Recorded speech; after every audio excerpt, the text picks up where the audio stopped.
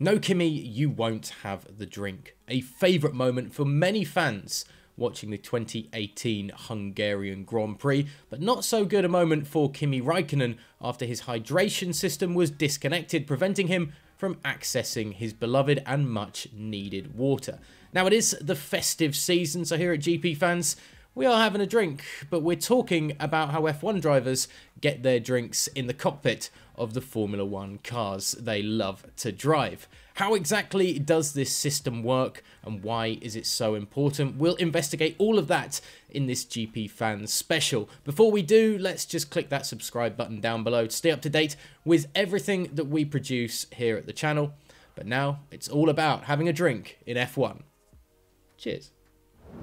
Let's start by answering the second question first. Why is being hydrated so important? Well, a Formula 1 Grand Prix lasts an average of two hours. Now that's manageable without water, particularly in normal circumstances. Sometimes that's definitely true, but it's not always true when it comes to being on track. Formula 1 drivers wear fire-resistant undergarments and fire-resistant racing overalls. Add to that the gloves, a balaclava, the helmet, and sweltering temperatures during races in Bahrain or Singapore, and you can imagine how warm it becomes. And quickly, F1 drivers get very, very sweaty in their cockpits. The engine also generates heat, of course, and the temperature in the cockpit can quickly rise to well above 50 degrees Celsius. The importance of enough moisture. Drinking enough water is therefore very important. In fact, not getting enough fluids can even be dangerous. Formula 1 drivers sometimes lose litres of fluid during a Grand Prix. 3 litres is nothing too crazy, but it is important to replenish it to prevent dehydration symptoms. Sergio Perez, for example, had his hydration system fail during last season's Grand Prix in Texas, one of the most challenging and intensive circuits for many drivers. Halfway through the second stint, it started to get difficult. I started to lose strength, said the Red Bull Racing driver after the race. Physically, this was my toughest race ever. The drinking system. But where is the water bottle hidden? It's not like the water bottles that perhaps we take to the gym on a regular basis, eh, if we go to the gym on a regular basis. It differs for everybody. As with everything in Formula 1, this system has been overhauled several times over the years. In the premier class of motorsport, weight saving is of great importance, so every time a lighter system has been devised, things have been overhauled. However, this system is, on most teams, a lot simpler than the rest of the car. Often a water bag is simply attached in the cockpit.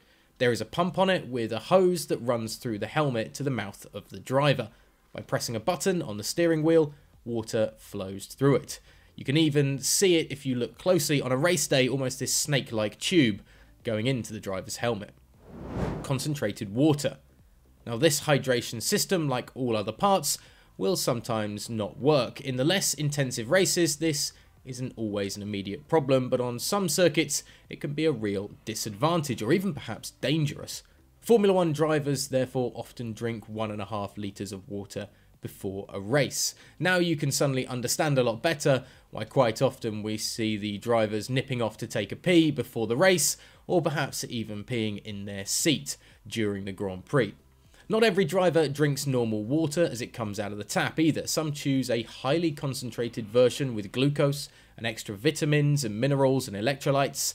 However, nothing is mandatory in this area, so it certainly varies from driver to driver what they choose to intake during the Grand Prix. So now you know why it's so important to stay hydrated during a Formula 1 Grand Prix and why drivers, when they are suffering from dehydration, find it so difficult and certainly need to replenish those electrolytes and that water once they get out of the car. Let us know your thoughts on hydration in Formula 1 in the comments section below and of course hit the subscribe button to stay up to date with everything we do here at GP Fans.